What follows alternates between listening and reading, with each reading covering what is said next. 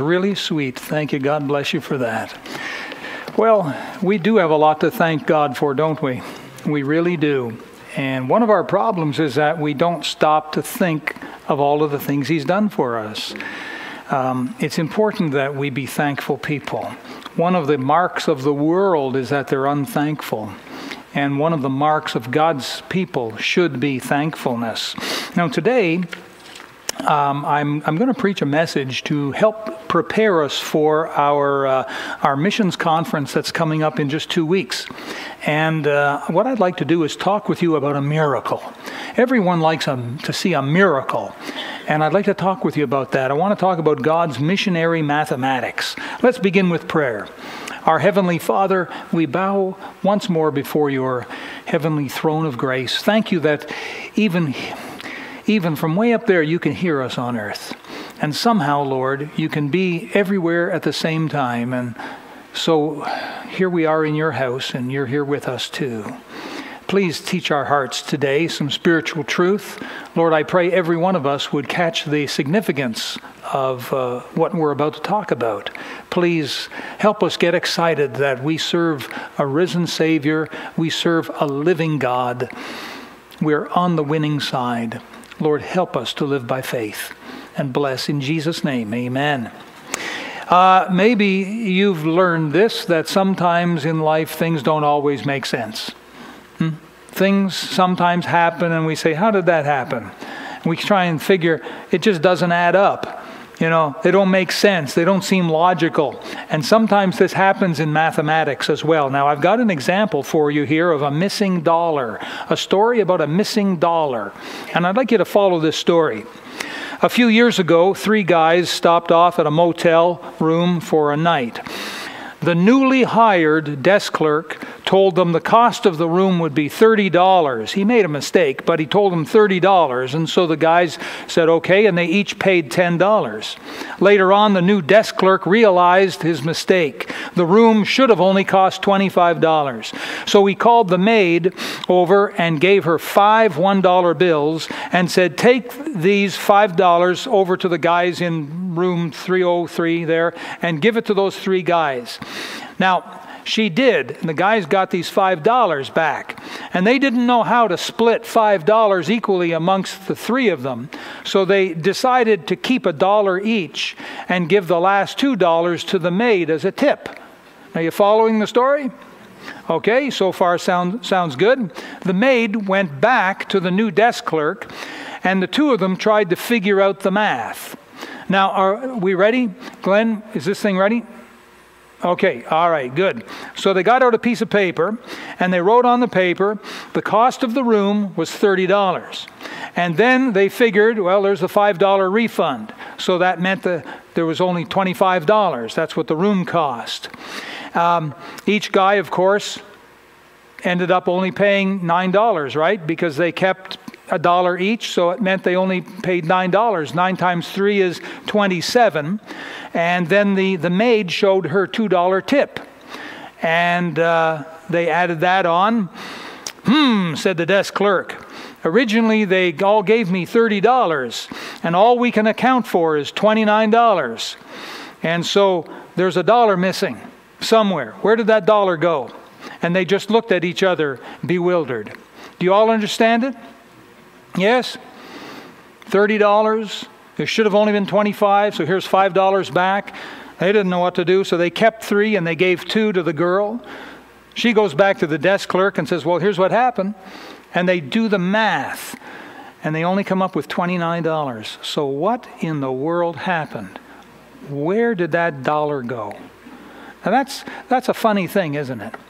That's a funny thing. Uh, strange, but there is a bit of trickery to this a little bit of trickery, um, just like this next one I'm going to show you. Um, 5 plus 5 plus 5 equals 550. Now, that is a false statement. Would you agree with that? That looks pretty bad, doesn't it? That's pretty poor math. However, by adding one line, one single line, you can turn that false statement into a true statement. Now, maybe you've seen this before, maybe you haven't, but uh, you can show this to your friends after. How about that? You've really learned something today coming to church, right? So I get to draw one line. So you write it out for them on a paper, you give them the pencil, draw one line. It can be as long as you want, as short as you want. One line will turn that false statement into a true statement, and when they finally give up, you say, Here's the one line. Do you understand it? That one line now changed the false statement of 5 plus 5 plus 5 into 545 plus 5 equals 550.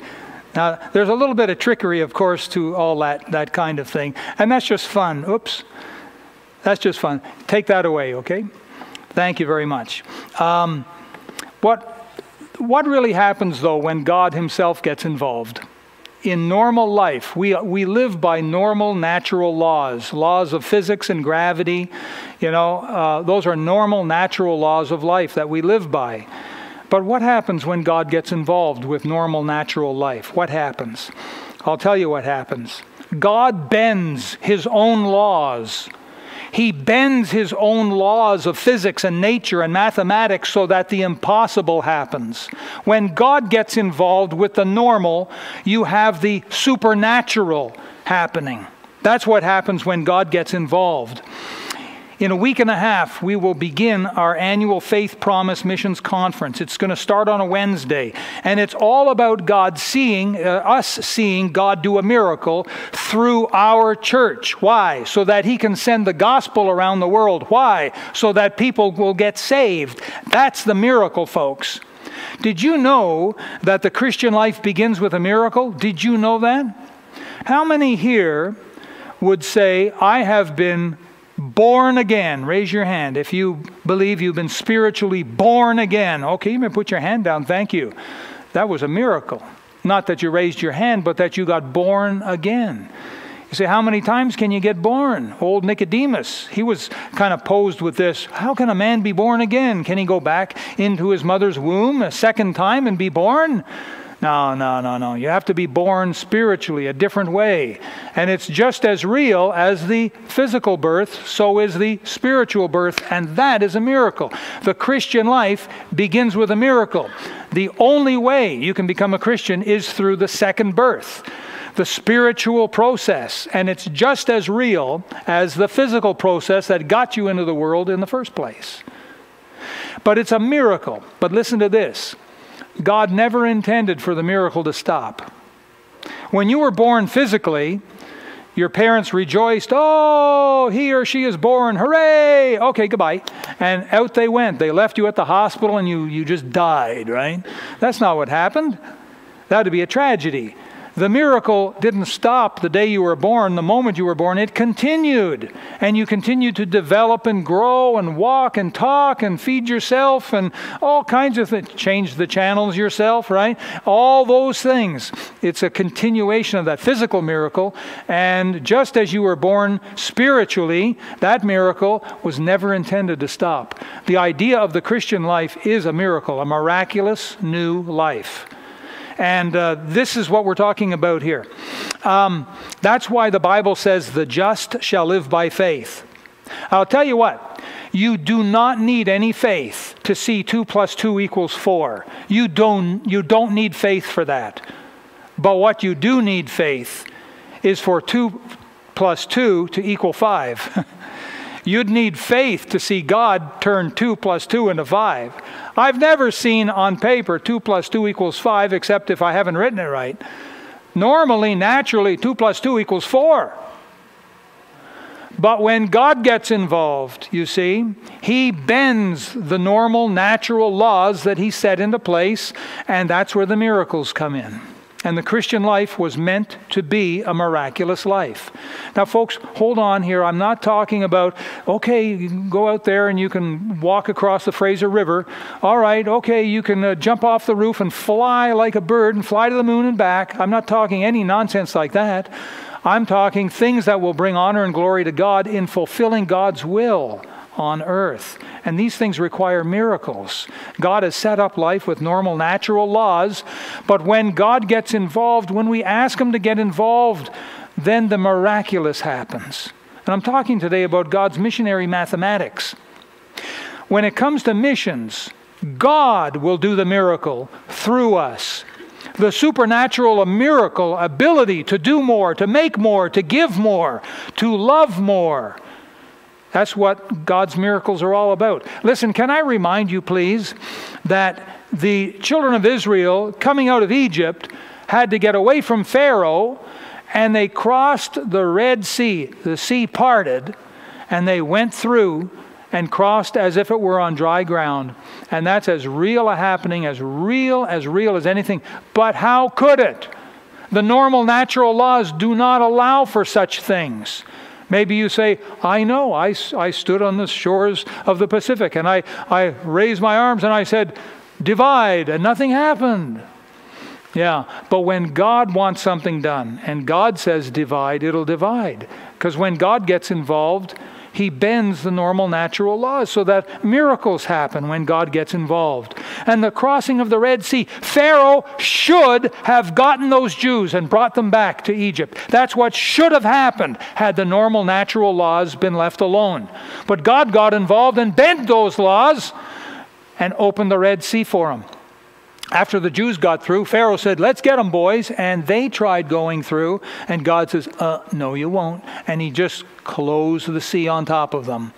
And it was heaps upon heaps of dead bodies on the shore that day.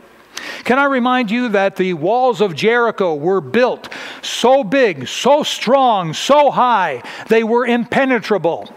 And listen, the walls of Jericho, those Canaanites should have been safe within those walls. God said, God got involved and told Joshua take people and march all around. Don't say a word, just march all around. Next day, do it again. Next day, do it again. On the seventh day, they went around seven times. Then they all blew their trumpets and they shouted, and the walls came crashing down. That should not have happened. Those walls were built to withstand uh, uh pressures and should have lasted hundreds of years. The normal natural laws were bent. Who bent them? God bent them because God got involved. God shows himself strong when he gets involved. Can I remind you that Joshua was in pursuit of the enemy and the sun was going down and they weren't going to be able to get all the enemy. And so he cried out to God and that sun stood still. That should not have happened. The normal natural laws should have meant that the bad guy escaped. That's what should have happened that day. But when God got involved, he just halted the sun that's why we have Joshua's long day. And Joshua then and his armies pursued after the enemies and won the victory that day. You read about that in the Bible. Can I remind you that Samson was only one man? And he didn't he didn't have these Arnold Schwarzenegger arms and chest on him. He wasn't like that. He was just a normal looking man. And there were 3,000 Philistines trained, combat ready, with armor on. The normal natural laws did not prevail that day because if they had, they would have not only caught Samson, they would have killed Samson. But God got involved. What happened? Samson won against 3,000. Unbelievable. Incredible. Can I remind you that David, as a teenager, showed up to battle Goliath? A nine foot six inch giant weighing perhaps 500 pounds. You say, people, they, they don't live like, oh, yeah, yeah. There's been freaks of nature, and we've gotten some great big giants in the past. And he was one of them. And he was a trained warrior. He knew how to fight. That's how he was raised. He was built like a Sherman tank. And there he was, standing, big, ugly, great big tower of a guy. And there's little teenage David with his slingshot. The normal natural laws, if they had prevailed that day, would have seen David barbecued, skewered there, and put on a spit and roasted. And Goliath said, I'll take your head off your, your body. I'll feed your body to the crows. That's what should have happened. But God got involved.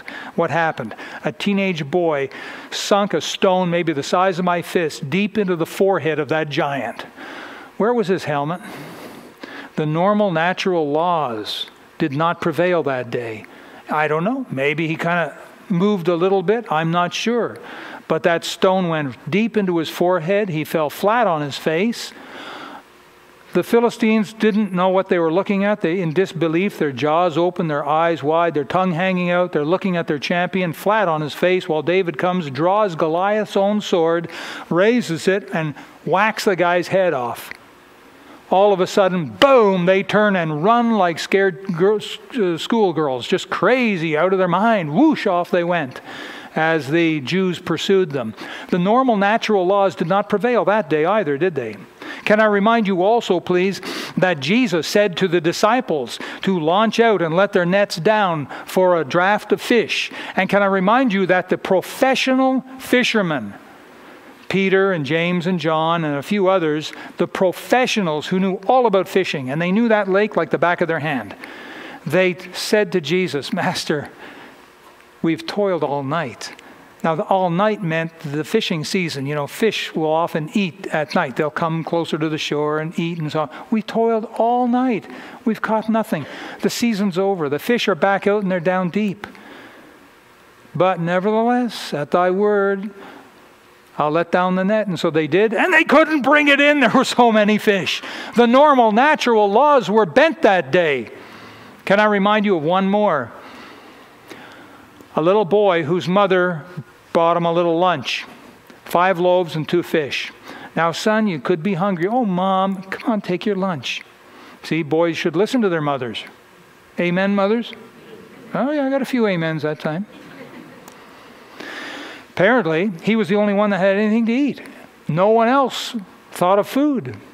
He's the only one that had, had dragging along this lunch. Oh, what am I bringing this thing for? Well, here's why because Jesus said, Can I have your lunch? Why? I want to feed 5,000 people with your lunch. That lunch, the normal natural laws of that lunch should have fed one boy. Maybe one boy and his buddy, maybe, but one boy. But when God gets involved, he bends. You see what I'm saying? And I'm saying that this is this same God is our God today. And God still is in the business of doing miracles. Now, in all these examples, the normal natural laws of physics and nature should not have allowed these things to happen.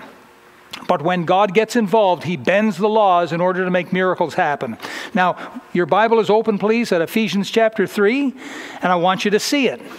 It's right there. We read about it. Ephesians 3, verse 20. Now, unto Him that is able, look at this, He's able to do now, watch here, watch this carefully. It's not that he's able to do above that ye ask or think, he's able to do abundantly above. And it doesn't stop there. He's able to do exceeding abundantly above all that we ask or think. And it's according to the power that worketh in us. So it has something to do with us. Unto him be glory in the church. That's the idea. When God does the miracles, there's great glory to God in the church. See that? By Christ Jesus throughout all ages, world without end. Amen. Now, today we're talking about God's missionary mathematics, where if we do it God's way, we will see a miracle. That's his promise. Now, for those that may be new to the idea of missions or new to the missions program of our church, here's what you need to know. Number one, this world has a serious problem. It's a serious sin problem, sin and eternal damnation problem. People need to be saved. They need to be born again in order to avoid ending up in hell. Number two, God's solution to getting people saved around the world is called missions. Number three, missions normally should not work. Normally, according to the normal natural laws, missions should not work. It should fall flat on its face. Why? Because most of us Christians are too small to do anything. We're too poor and too broke, and we just don't know how to do it. missions should fail. Number four. But that's when God does his miracle missionary mathematics. If we'll do it with him his way. Now take your Bible, please, and turn to the left.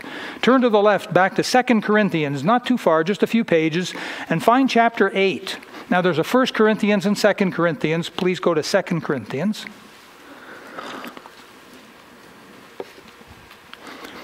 Chapter 8, if you would, please.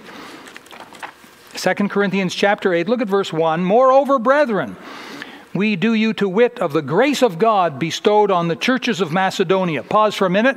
Paul writing here, he says, Now, you, you Christians there at Corinth, we want you to know this. We want you to be uh, right up to snuff here with knowledge that the churches in Macedonia, which was another place of Asia Minor, was another geographical area, several churches there, he says, I want you to take note of the grace of God. That's the power and divine influence of God that's been in those churches. Now, go down to verse 3. For to their power I bear record, yea, and look at those next three words beyond their power. So, to their power and beyond their power, they were willing of themselves. What are we talking about? Paul is talking about churches that gave to missionary causes, uh, churches that not only prayed but gave money to finance missions and soul winning.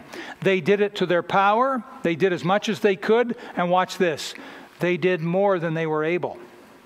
They did beyond their power. How much beyond their power, we don't know. But they did beyond their power. They did more than what they could do. I ask a man, How much can you lift? He says, I can lift 100 pounds. Let me see you. And he strains and struggles and he gets 100 pounds up, throws it down. Well, let me see you do 150 pounds. He said, I can't do 150 pounds. I can only do 100 pounds. He said, I, I, My heart will burst. I'll die. I, I just can't get it off the ground. Well, maybe he's right. But what if he had supernatural power? You know, Samson, he was just an ordinary guy. But when supernatural power came upon him, I'll tell you something. Every guy in the world, when he learns about Samson, inside he says, Boy, that'd be cool. Man, I wish for a day I could be Samson. I'd go and visit some of those guys, you know, who called me names. I'd, I'd go, you know, and find that girl who, you know, I, would show off, you know, to her. Every guy in the world, at one point, wishes he was Samson. Every guy. Uh, you know, for a little piece, piece of Samson's life, anyhow. But there was only one Samson. But there's only one God. And that same God is here today. And so if a man says, I can only lift 100 pounds, if the power of God came to help him, what do you think? Could he lift 150? Yes or no? Do you have any trouble believing that? If the power of God came upon a man, do you think that he could lift up 200 pounds? I think so. I know there's been cases of people under great stress and duress, and they've lifted a car to get a loved one out. I've heard of that kind of thing. Uh, there's uh, documented cases of it. I know that. But how many of those people lifted the car right up uh, oh, off the ground, right over their head, huh? How many of them did that? Eh, not a one. Why? It's too much for them. Too much for them. But if the power of God comes, they can lift that car up, they can throw it. They can be like those TV superheroes, throw an automobile. When God gets involved. Now, Paul is saying that the churches of Macedonia were giving, and they were able to give beyond their power. Now, look at chapter uh, 8 and verse 7. Now, Paul says, Therefore, as ye abound, he's talking to the church at Corinth now, as ye abound in everything, in faith and utterance and knowledge, and in all diligence, and in your love to us. Now, watch, he says, See that ye abound in this grace also. What grace is he talking about? Verse 1 The grace of God bestowed on the churches of Macedonia. He says, uh, You've been abounding in these other things. He's basically saying all Christians need to abound in the miraculous uh, uh, giving, in the miracle of giving. You say, How is it possible? Most every Christian will ask this question How can I give what I don't have? How can I give when the pie is only so big and, and all of the pieces of the pie have been allotted for, and I've got some here and some here, and I can pay my rent and my gas, my insurance, I can put food on my table, but there's precious little left. How in the world can I, can I do anything? Now that's the picture. That's a good question. Paul gives us the answer, and it's in chapter 9. Just look, turn a page or something. Chapter 9 and verse 8. Now, this verse, I want you to read it out loud with me. It is so powerful. Read it out loud together with me. Chapter 9, verse 8. Here we go. And God is able to make all grace abound toward you, that ye, always having all sufficiency in all things, may abound to every good work. You see, it's not of you, it's not of me. God says He is able to make His grace abound, not trickle in, abound toward us, so that we can now give to good causes. You see, this is the secret. It's the miracle. Your pie is only so big, and it's probably just big enough to feed you and your family and keep the wolves away from your door. And God is saying, let's do something together. Let's do a miracle together. Let's support missionaries. And you're looking at your pie and you're saying, Lord, I, I don't understand. I can't see how. It's not possible there's, I mean, if I had a bigger pie, if I was a millionaire, maybe, Lord, I'm not. I never will be. My pie is only this big. What can I do, Lord? And this is where God says, You leave that to me. Because God is able to make all grace abound toward you. He's able to make all the pie abound toward you, so that ye, having all sufficiency in all things, may abound unto every good work. We hear of a good work and we say, Oh, I wish we could help. I wish there was something we could do. Well, we can. We can go to God and ask Him to increase the size of our pie. We can go to God and ask Him for more grace so that we can abound to these things. That's the miracle, folks. That's when God's miraculous power gets involved with mathematics, all of a sudden, 2 plus 2 will equal whatever God wants it to 5 or 6 or even more. Because God is able to make all grace abound toward you and me. That's pretty exciting, folks. I get excited about that. You know, I think of how God wrote the Bible. And th- this blessed old book, praise God for the Bible. It's the only book like it in the whole world. But men didn't write it of their own desire, their own will. No one got up one day and said, Hmm, I think today I'm going to write the book of 2 Samuel. Hmm, yeah, that's what I'm going to do today. No one ever did that. You say, how do we get the Bible? Because God moved on the hearts of men and wrote the Bible through them. Basically, God is the author, human instruments God moved on their hearts and had them write what He wanted. We've got a blessed old book that, that's here forever, folks. God used some 40 different authors to write the Bible. Praise the Lord. And this same principle applies to the idea of faith promise giving. It's God doing it through us. It's not us going through our pockets and saying, well, well, what's in my wallet today? There's not much. I don't think I can do anything. No, no, it's God saying, let's do it together, you and me. You lay your hands on the weights on the dumbbell there. I'll put my hands on top of your hands, and let's just see what we can do. There you are driving your car. In the days before seatbelts, now this is going back a thousand years, I know. But in the days before seatbelts, sometimes dad, as he's driving the car, would have his child sitting on a lap. Now, you're not supposed to drive like that, but these are the days before seatbelts. Dad would be there, and little Junior say, "Oh, can I can I get in your lap, Daddy?" All right. And so, you know, Junior would sit there, and put his hands up on this great big wheel. You know, to him it was great big wheel. And put his hands up there, and he, he'd sit there in Daddy's lap and look over at Mommy. Look, Mommy, I'm driving the car. I'm driving the car. Dad's hands were on top of little Junior's hands, right? When God gets involved, when He puts His hands on top of our hands, folks, that's where the, the, the impossible becomes possible. That's what faith promise is all about. That's why I'm talking about God's miraculous missionary mathematics. Because when it comes to supporting his favorite cause, getting the gospel around the world to get people saved, he wants to use us. He wants us to be part of that. You know what? We don't have much time. We've got uh, two weeks until Faith Promise Sunday. Now, I want to show you an important verse. If you'll go to the Gospel of Luke, Go to the Gospel of Luke right now. Turn up the fans, would you please? Luke chapter uh, number 6.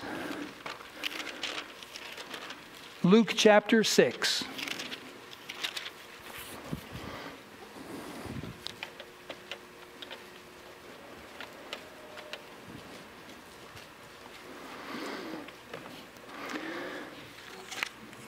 If it was up to you and I, we just don't have the power to send missionaries. We don't have the power to reach the, around the world with the gospel. We can't do it.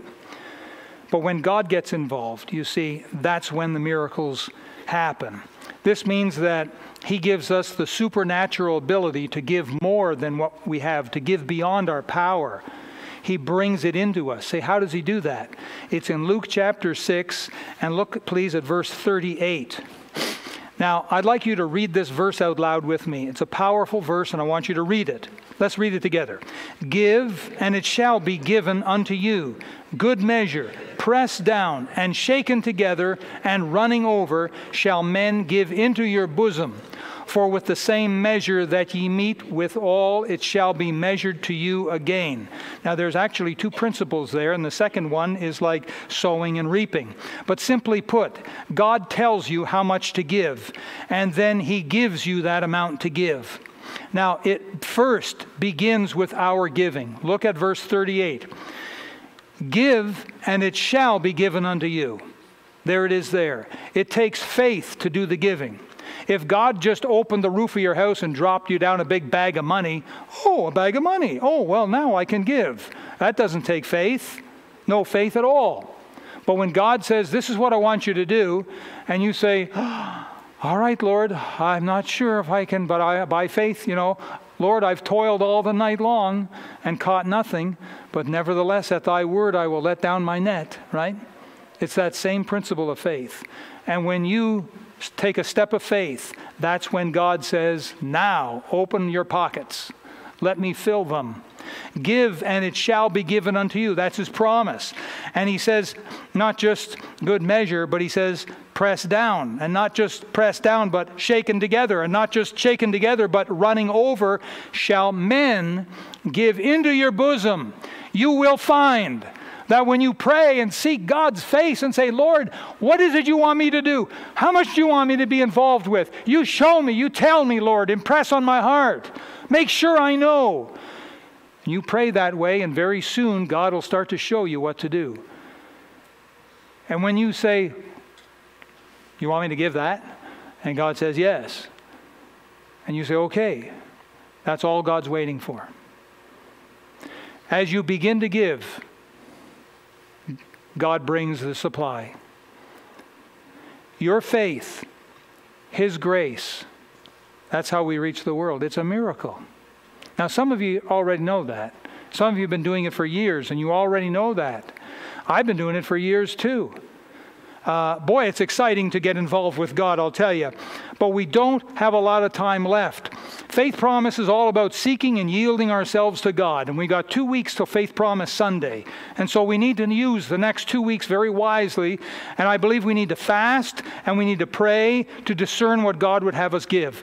On that green paper I've given you, there's three green papers, one each week, but this is the first one. It talks about Faith Promise on one side. On the other side, it asks you, please, to fast one meal it could be a lunch or dinner or breakfast or something, one meal that you normally eat. Fast and pray and say, Lord, what would you, what would you have me do? You won't die. I don't think you'll end up in a hospital. But if, if you've got a medical problem, then maybe you could just fast all your desserts for the week. How about that? Some people say, I would rather die. I know, I understand dessert has a priority, but you see what I'm saying? Maybe if you're a big coffee fiend, you could fast your coffee through the week. Boy, there'd be a you'd be at the end of the week, wouldn't you? Eh?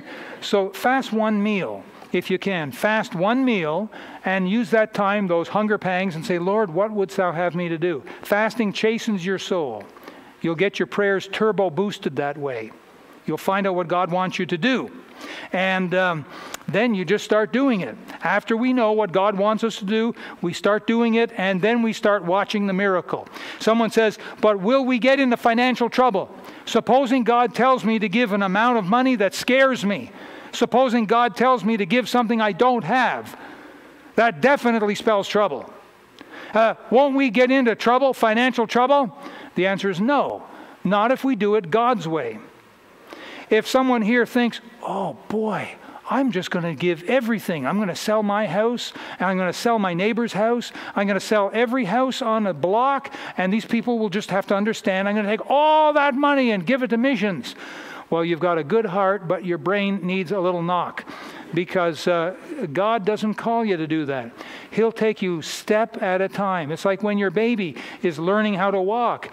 You say, hey, look, look, the baby's standing up. Okay, now, son, jump. Jump this far. It's a miracle he can stand.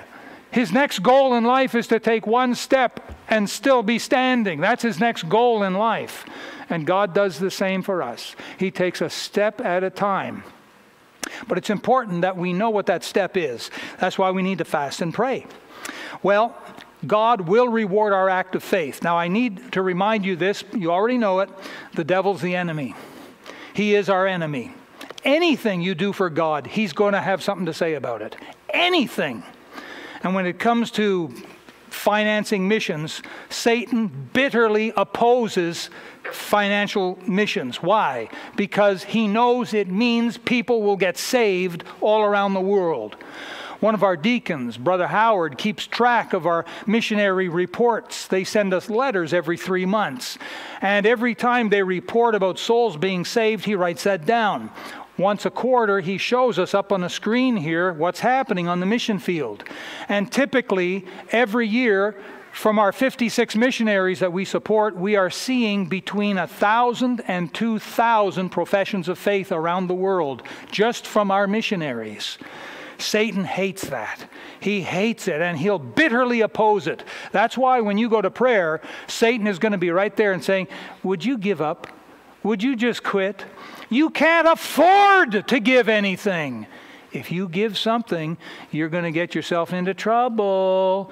These are just typical tricks the devil uses. So the devil says to you, listen, just, just give a, a tiny bit. Like, how about a nickel? You can afford, give a dime, give 10 cents, give, give 25 cents a month. Give 25 cents a month. That's all you can afford to do. Oh, yeah? Where's the devil when you walk into McDonald's? And say, I'll have two of those and four of those and six of these, and the bill comes up to $20 or $25, $30, you don't seem to have a problem finding the money for that. The devil never opposes that.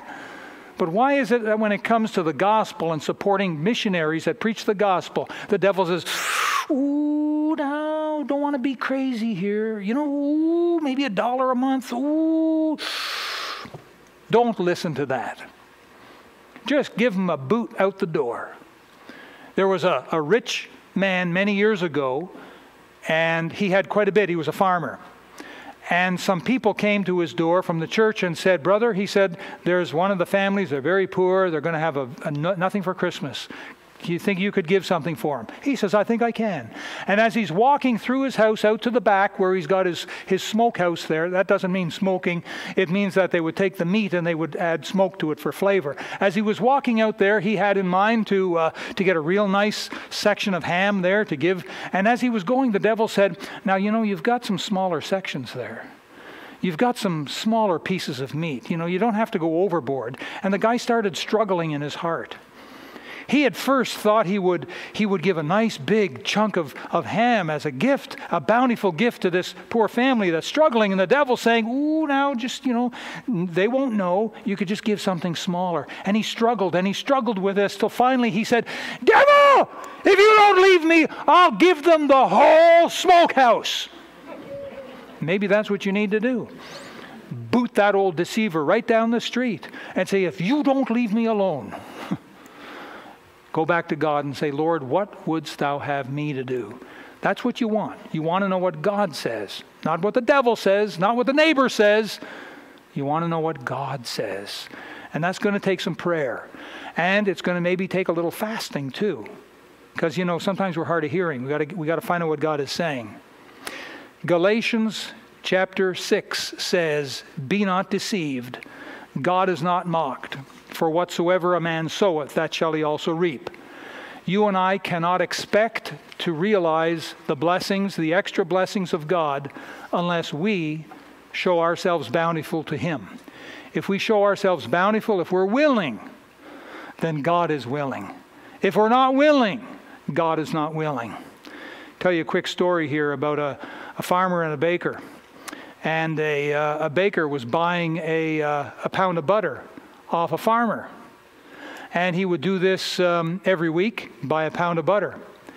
And one day he decided he'd weigh the, the pound of butter, make sure he's getting a pound. He put it on his weight scales. it wasn't anywhere near a pound. He was angry. And so he took the farmer to court. And uh, the judge looked at this case and said, uh, Mr. Farmer, what do you have to say about this? And the farmer, uh, he says, Well, I, am I'm, I'm not sure, Your Honor. Um, the, um, uh, the judge asked the farmer, Well, do you, do you have any kind of measuring device? And the farmer says, Well, Your Honor, I'm, I'm a very poor farmer. I don't have a lot, and I don't have any kind of fancy measuring device, but I, I do have a scale. The judge says, Well, how do you measure a pound of, of butter to, to the baker? How do you do that? And the farmer says, Your Honor, long before the baker started buying a pound of butter off me, I was buying a loaf of pound bread off of him. And then one day he decided he wanted to buy a pound of butter off me. And so what I would do is I would take the pound loaf and put it in one side of the scale, and I would add enough butter till it measured it equaled with the pound loaf, and that's the butter I would give him. Now, do you see where the problem was? That baker was so angry he was getting less than a pound. It was his own fault. God is not mocked. Whatsoever a man soweth, that shall he also reap. And that baker, he was sowing less than a pound, and he was reaping less than a pound of butter. So we can't go around blaming God if we're not seeing the extra blessings, if we ourselves are not willing to be uh, uh, used of God. But God changes the dynamics when it gets to supporting worldwide missions. And for this, God uses the supernatural influence. And for these people that'll get involved, He makes this promise give, and it shall be given unto you. Good measure, pressed down, shaken together, running over, shall men give into your bosoms. It's when you get involved, it's when I get involved in serving God with some finance, in supporting missionaries, that God gets involved and says, Wow, now I'm going to do my part. You do your part, I'll do my part. And miracles happen. So, again, why are we involved with worldwide missions? It's because God wants people saved. God's solution to getting people saved around the world is called missions. God wants to do it through us and with us, in partnership with us. Our part is to ask Him, What do you want me to do? His part is to make it happen. My question is, why don't we start today? We got two weeks before Faith Promise Sunday. On that Sunday, we're going to distribute some cards. No one writes their name on it, but everyone writes an amount what they feel that God is telling them to give. We add those all up, and then we decide what we're able to do if we can take on support of more missionaries. We got two weeks. It's plenty of time if we start today. Why don't you start today?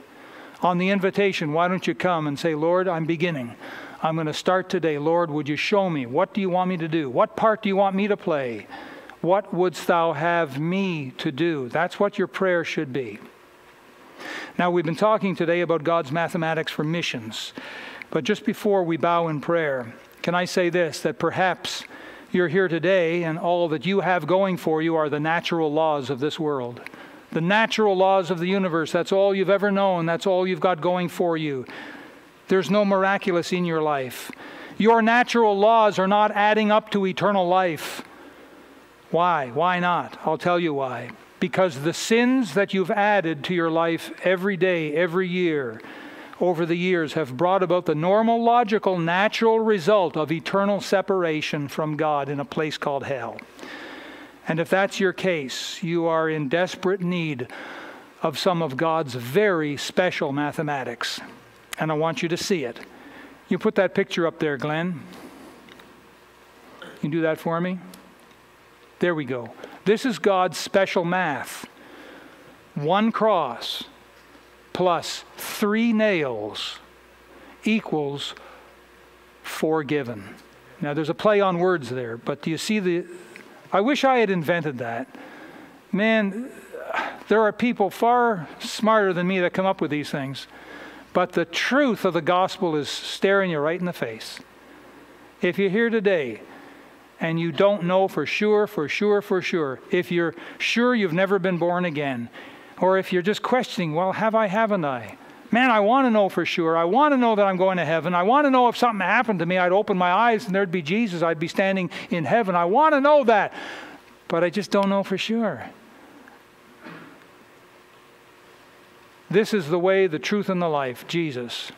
No man cometh unto the Father but by him. This is your need before faith promise missions. This is what you should be praying before you pray anything else. Is Lord, would you be merciful to me? I'm the sinner that Jesus died for. I'm the guy that should be in hell, and Jesus died for me. He paid what I owe in hell. And by the way, he rose again the third day, folks. He's alive today. Maybe He's knocking on someone's heart door today. Maybe you're here today and you're thinking to yourself, wow, that's probably me. How can I know for sure? How can I be born again? Well, what's holding you back? You know enough. It's by faith. You know that you're a sinner. You know your sin has separated you from God. And one day when life is over for you, it's into the precipice, over the precipice, into, into hell. You know that. The Bible tells you that. You just got to believe it. The wages of sin is death. But the gift, the gift of God is eternal life through Jesus Christ our Lord. It's a gift. He'll give it to you. If you'll come clean, confess your sin, and ask Him to forgive you and come in your heart. That's how I got saved. 19 year old back in April the 6th, 1975, I got on my knees and I prayed the best I know, knew how. Lord, would you forgive my sins? Come into my heart right now. Be my Savior. What happened? He did. He came in my heart and He was my Savior. Oh, praise His name. Oh, listen, folks, let's bow our heads for prayer right now, shall we?